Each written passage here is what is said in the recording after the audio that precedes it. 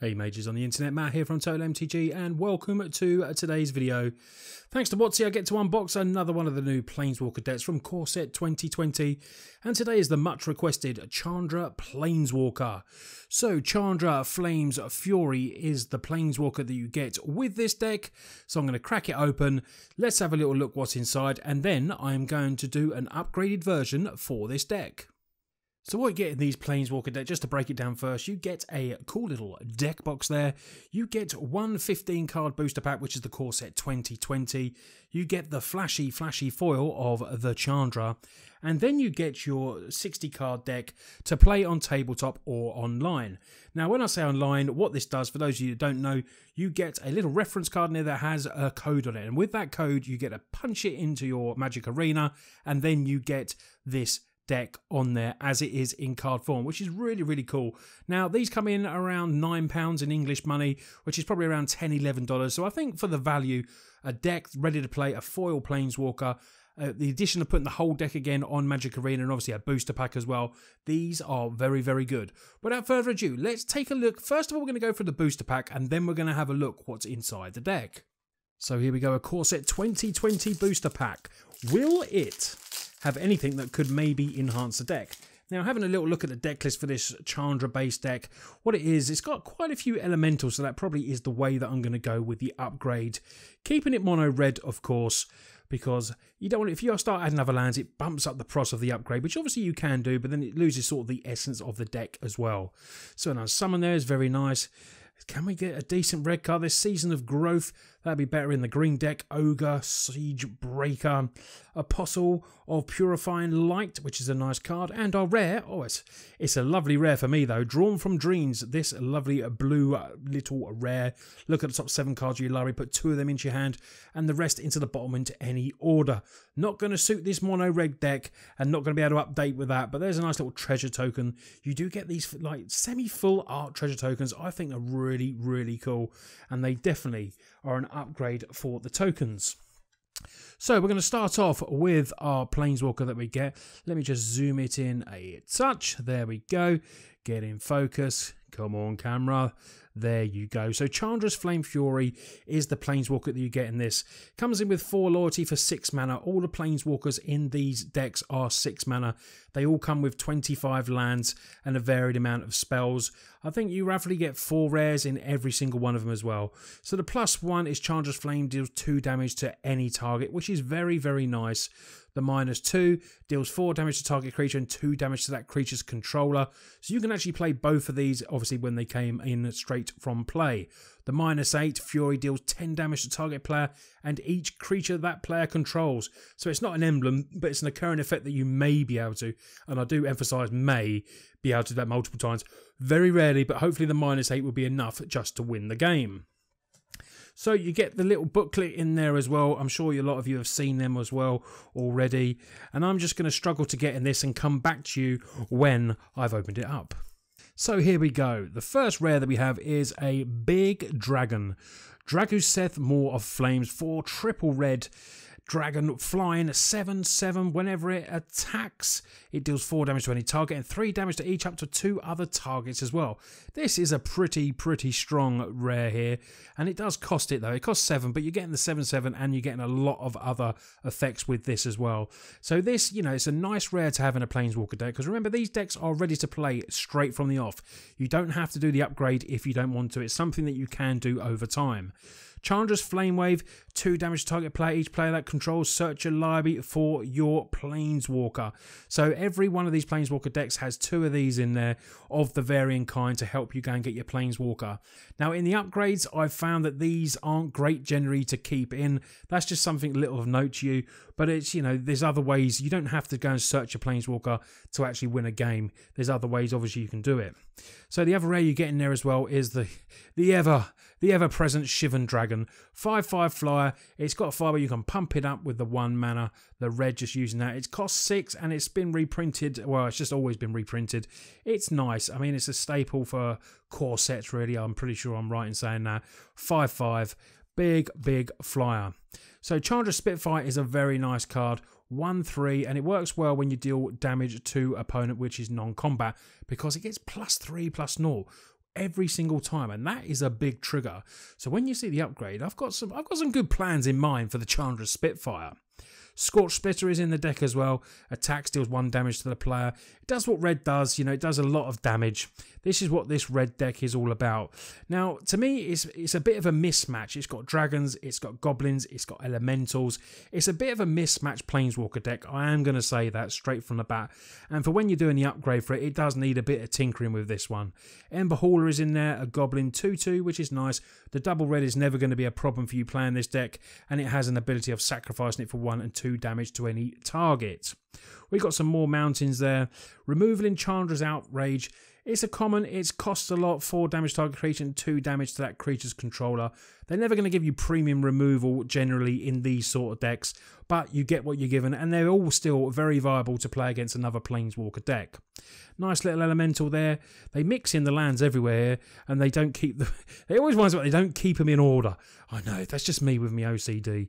Uh, more mountains, more Chandra's Outrage. You can see you do get multiples of everything in this, and I will put the deck list below so you can fully see this.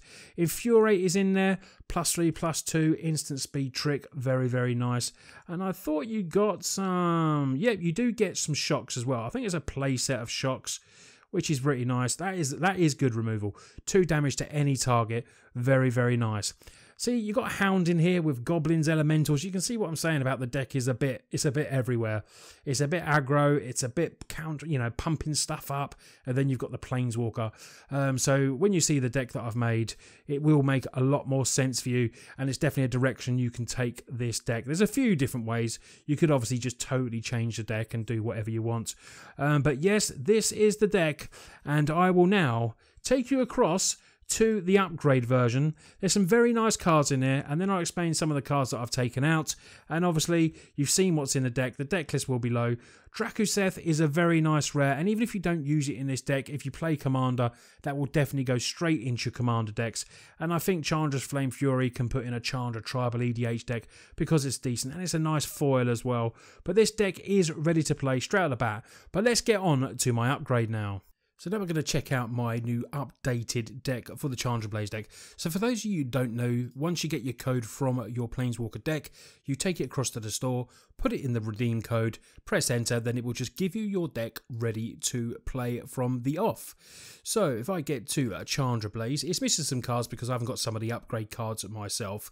But with this upgrade, what I've done is, it doesn't always need to be upgraded. Upgrade doesn't always just mean expensive cards, rares, mythics and everything like that. I've actually only included four rares in this upgrade, which is the one and only Thunderkin Awakener. Because the way I've took Chandra Blaze is it had more elementals than anything else in the deck. Like I said, it was a mixture of hounds, everything, it was just a, whole mixture of cards. So what I've done is taken the essence of the deck, which was elementals, and we've got a mono red elemental deck that I think could be pretty, pretty strong. So Scorch Spitter gets up from 3 to 4 straight in there. When it, This is a really nice comment that you got with this. When it attacks, it deals 1 damage to player or planeswalker it's attacking fucking very nice. Getting on the aggro, which is what you want to do. Because we're running. This is Elemental Cavalcade Calamity. Cavalcade of Calamity is whenever a creature you control with power 1 or less attacks, it deals 1 damage to that player or planeswalker that the creature is attacking.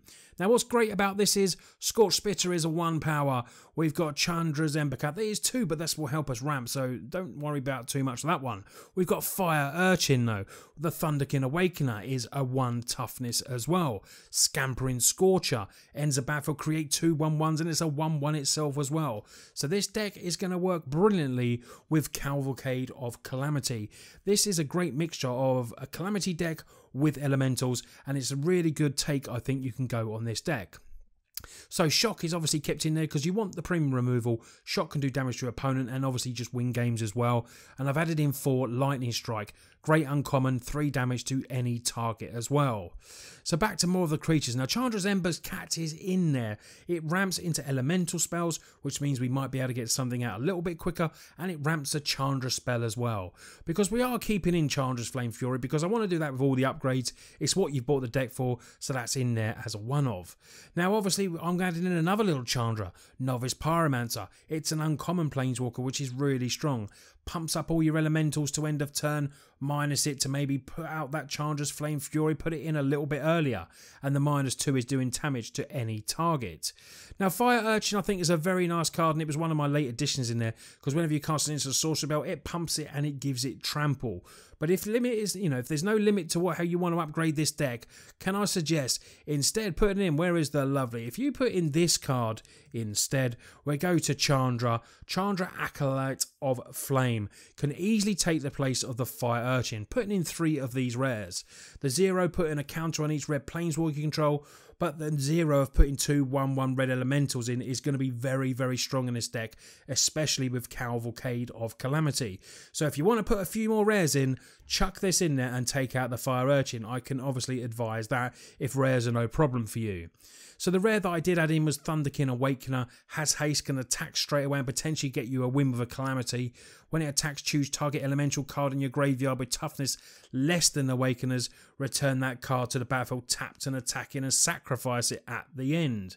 So where this says with toughness less, Scampering Scorcher, very, very nice card to get in. I really do like the interactions that this deck can have. Chandra Spitfire, 1 3 elemental when opponents dealt non combat damage.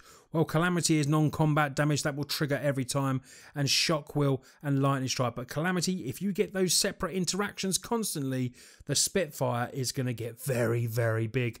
Flying with evasion, go over the top, possibly as a big 10 3 flyer or anything like that. It's going to be huge and can definitely, definitely win you games. All we're going to do is cut down the mountains because we don't need the 25. We can cut down to 22 because if you have a look at this, our average spell is 2.3, which is, you know, that's pretty, pretty low. So I think we can, we don't need the 25, even with these big, you know, the big planeswalker there. We're still very low. Highest mana is 4 up to that. And I think 22 will be done very well. If it means, you know, after a lot of testing with the deck, you feel like you need one more, chuck one more in there and just drop one spell that you feel like isn't performing. Or maybe you could put in two Chandras, drop the Fire Urchins, and just add in one extra mountain. So this is the upgrade Chandra's Blade Mono Red Elemental Calamity Cavalcade Shenanigans. Let me know what you think of the upgrade and I really hope you've enjoyed this unboxing too. Thanks again to Wizards for sponsoring the video. I will be doing Vivien on the next unboxing. So all you people that love the Vivien deck and the new Planeswalker, you've bought that one. I will be unboxing that one very soon on a future video. So don't forget to hit the subscribe button, hit the like as well, because it really does help support the channel. Anyway, thanks a lot for watching the video, boys and girls. You lot take care, and I'll see you on the next video.